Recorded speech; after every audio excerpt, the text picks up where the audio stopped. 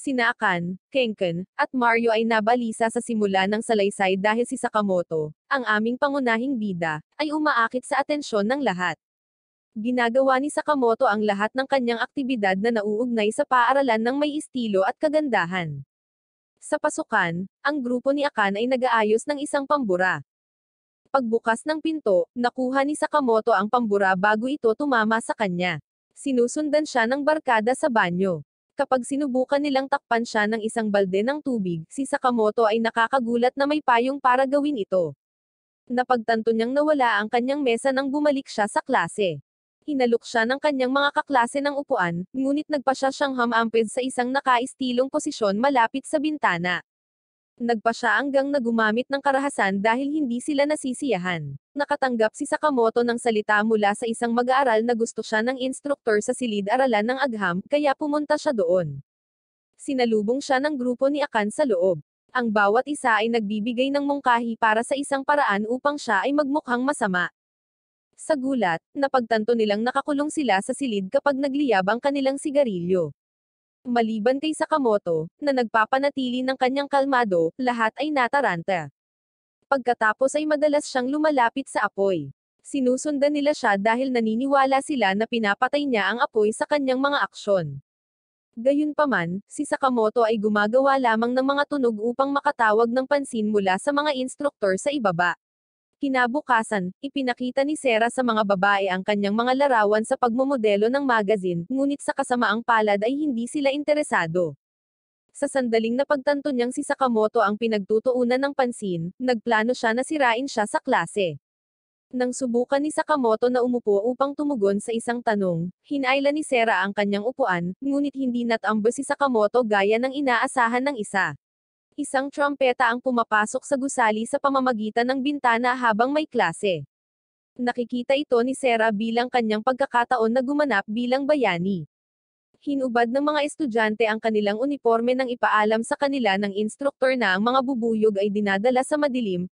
Kapag ang isang bubuyog ay damapo sa buhok ni Sakamoto, lumukso si Sera upang patayin ito, at ang bubuyog ay sumulong kay Sera. Lumapit si Sakamoto para tumulong. Pagkatapos ng madugong pakikibaka, nagawa niyang itaboy ang bubuyog sa labas. Nakita ni Sakamoto si Kabota na nagbabayad muli para sa seguridad at nagpas siyang makipag-usap sa kanya. Binigyan sila ng trabaho sa isang kainan ni Sakamoto. Dahil sa kanyang pagiging kaakit-akit, napilitan si Sakamoto na magtrabaho sa rehistro bago maging isang tagapaglinis.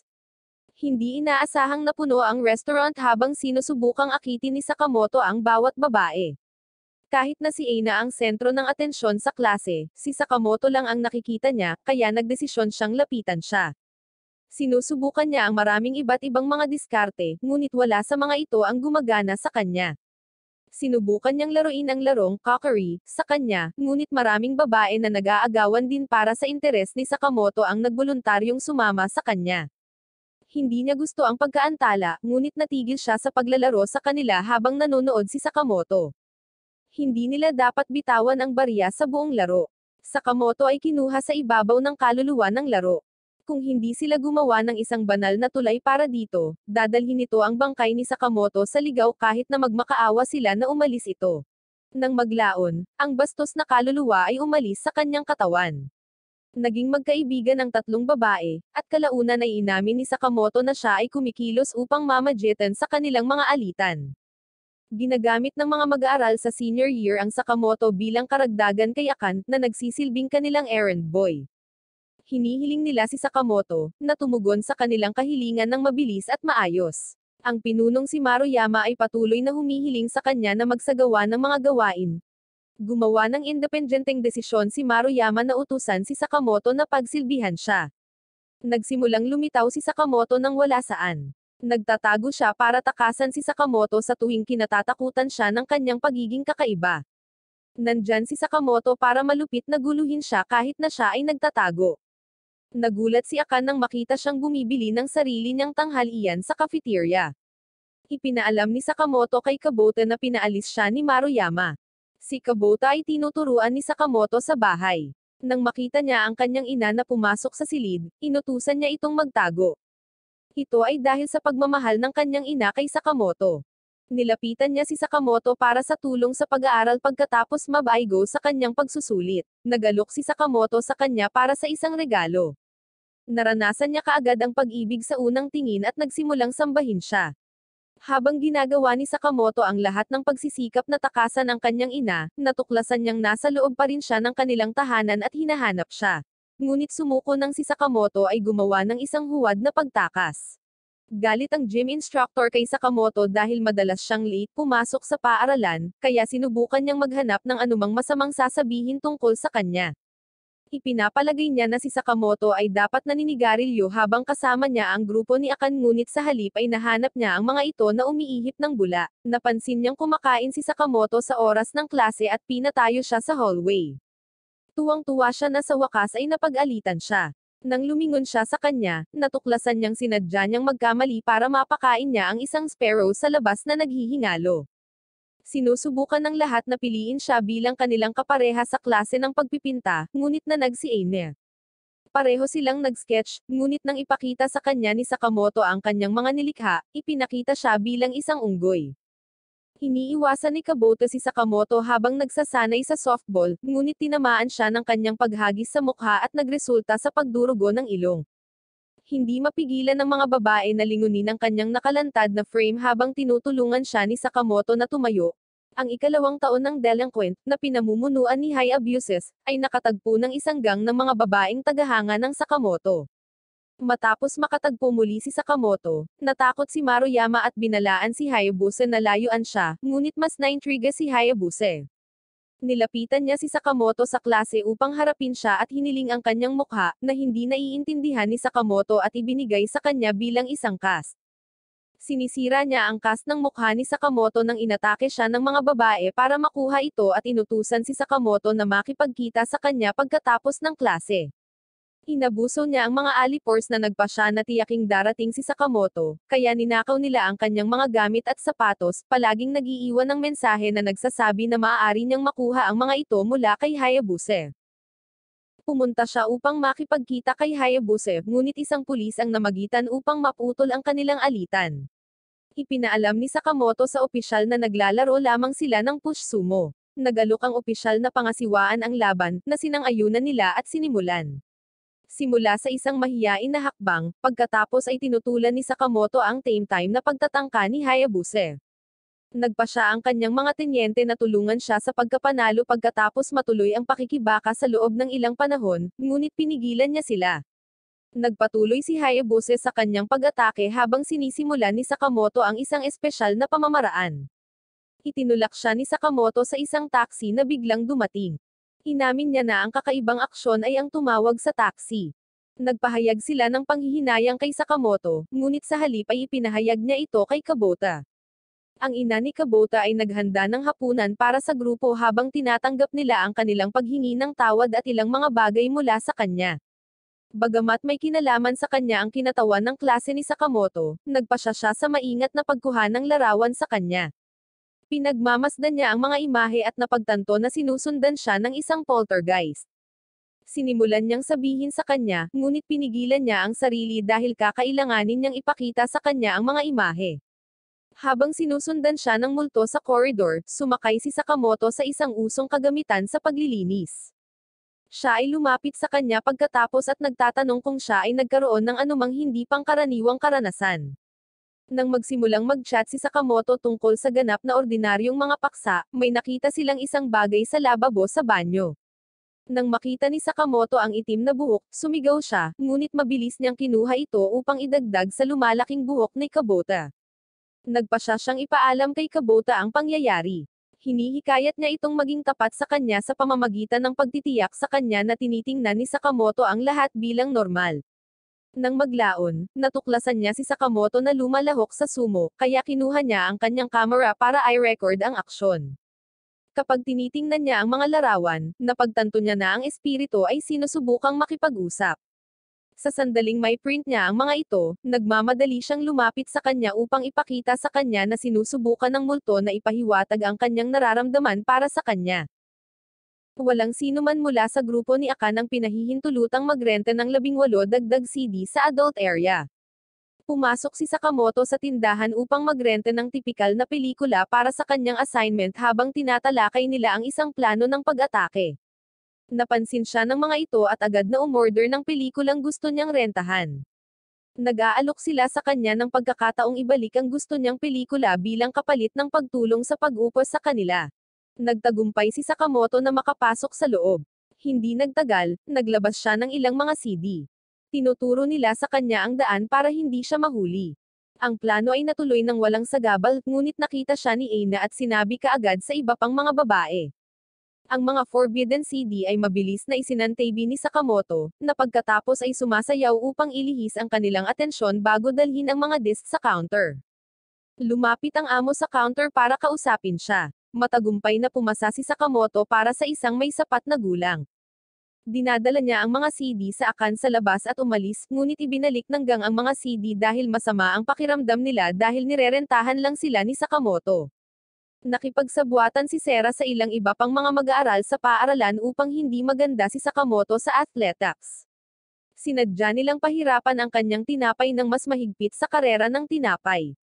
Si Sakamoto ang nangunguna habang nagsisimula ang karera, ngunit ang kanyang fit ay nagpapanatili sa kanya na nakabitin.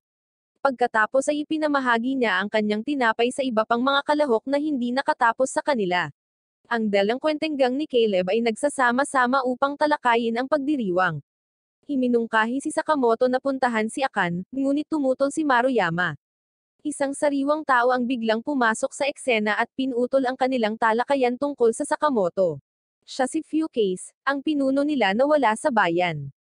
Ang mga cultural festival na dekorasayon ay inihanda din ng mga kaklase ni Sakamoto, ang klase ay inabandona ng mga tamad habang tinatangka ni Sakamoto na ay highlight ang kagandahan sa kanilang trabaho. Nilapitan sila ng few case sa labas. Natuklasan ng mga batang babae na ang kanilang mga dekorasayon ay nawasak mamaya sa araw na iyon. Si Sakamoto ay minarkahan bilang isang wanted na tao na may mga poster sa buong paaralan. Inakusahan siya ng mga tamad na sinisira ang mga dekorasayon. Hinahabol ng isang mafia si Sakamoto dahil mayroon siyang reward na nakalista sa kanyang wanted poster. Pumasok siya sa teatro at agad na nakulong, ngunit ang koponan ni Hayabuse ay nakarating doon sa oras upang iligtas siya. Kalaunan ay ipinaalam nila kay Sakamoto na si Fukase ay isang senior na nasa kalagitnaan ng 30s. Matapos makatanggap ng mahihirap na marka, nilinaw nila na gumagawa siya ng mga laro sa tuwing bibisita siya sa paaralan, at ang mga aktibidad ay idinisenyo upang alisin ang paksa ng kanyang atensyon. Si Sakamoto ay bumalik sa klase, ngunit ang pagkahuli ay humantong sa mga hinala sa iba pang mga estudyante. Siya ay umaalis at bumalik upang ipakita ang Katamaran bilang ang tunay na nagkasala. Sinusubukan nilang hadlangan ang scheme ng Decorasayon, ngunit tinutulungan sila ni Sakamoto na i-demoralize sila, at pagkatapos ay inamin nila ang kanilang maling gawain. Ang ina ni Kabota ay ipinaalam ng kanyang instruktor na tumaas ang kanyang mga marka. Sinabi niya na si Sakamoto, na naging isang kaibigan, ay malamang na nagkaroon ng ilang uri ng epekto. Kinabukasan, hindi pumasok sa paaralan si Kabota dahil sa sipon. Masaya ang ina ni Sakamoto na muli niyang hawak si Sakamoto. Upang maging malapit sa Sakamoto, nagbihis siya ng uniforme ni Kabota at pumasok sa paaralan. Hinahangaan niya ang bawat kilos niya. Ang Sakamoto ay tumatakbo sa buong pisikal na edukasyon tulad ng ideya ng ebolusyon. Humanga ang fitness instructor. Hindi masasabi ni Sakamoto na hindi ito si Kabota, kaya maaaring pantayan ni Kabota ang kanyang bilis. Sinubukan niyang lapitan si Sakamoto ngunit nadapa siya. Sa kalaunan ay tinalikuran niya ang kanyang pagkilos at bumalik sa bahay upang alagaan ang kanyang anak. Sa kabila ng pagiging holiday ng Pasko, nakitang nagboboluntaryo si Sakamoto. Inimbitahan siya sa isang mixer ng ilang lalaki. Hindi niya maintindihan kung ano ang ipinahihiwatag nito, ngunit ipinaliwanag nila na ito ay isang sosyal na kaganapan, at nagpasya siyang samahan sila. Nagpakilala silang lahat bilang mga mag-aaral sa kolehiyo sa mixer. Nagkomento ang mga babae sa pananamit ni Sakamoto sa high school at ipinaalam sa kanya na nagbibihis siya bilang ibang tao para itago ang kanyang edad. Inihayag ni Sakamoto sa grupo na interesado siya sa pananaliksik ng nasa habang tinatalakay nila ang kanilang mga layunin. Ang bawat tao ay tumatanggap ng order ng inumin. Binigyan si Sakamoto ng napakalamig na inumin na makakasira sa kanyang boses, ngunit hindi niya ito alam, at pagkatapos ay inutusan siyang kumanta upang mapahiya niya ang kanyang sarili. Kinuha ni Sakamoto ang isang piraso ng musika. Inaakit niya ang interes ng mga babae mula sa ibang bahagi ng silid habang kumakanta siya. Nagpa siya si Sakamoto na umalis dahil masyadong puno ang espasyo. Hiniling ni Hayabusa kay Sakamoto na turuan siya ng mga kaugaliang Pranses. Minamaltrato niya ang kanyang ama sa pagsisikap na magkaroon ng magandang unang impresyon sa kanyang magiging asawa habang kumakain. Iniinis ng mga kuhol si Hayabusa, ngunit nagpupersid siya para sa kapakanan ng kanyang pamilya sa kabila nito. Taglamig na, ipinaalam ni Sakamoto kay Kabote na hindi pa siya nakakita ng nyebe. Nang malaman ito ni Akan, nagpa siya siyang ipakita sa bata kung paano maglaro sa nyebe. Pagkatapos ay ipinakita sa kanya kung paano bumuo ng isang snowman pagkatapos nilang unang magsanay ng pagmamapan ng katawan sa snow. Nagpakita si Focus at nagmumungkahi na hamanin niya ang ibang tao sa isang labanan ng snowball. Sinimulan nila ang labanan. Gayunpaman, dinaig ng mga kakayahan ni Sakamoto si Akan. Pagkaraan ng ilang oras, inihagis ni Sakamoto ang mga hand warmer patungo sa Akan sa pagsisikap na maputol ang kurbata ngunit nabigo ito. Maya-maya ay umuwi si Akan habang humihikbi dahil sa frustration. Pinahihintulutan si Sakamoto na magbigay ng address ng Palm sa mga mag-aaral na magtatapos sa araw ng kanilang pagtatapos. Nagsisimula siya sa pamamagitan ng pagkatok ng bola sa bubong ng gym at ibigay ito sa mag-aaral bilang alaala. Pagkatapos ay nagpatuloy siya sa pagsasalita. Binigyan siya ng standing ovation para sa kanyang pagtatanghal dahil siya ay matagumpay sa paggawa ng lahat na tila bahagi ng kanyang pagtatanghal. Tiyaking mag-subscribe at i-on ang notification bell para sa higit pang mga video na tulad nito. Salamat sa panunood.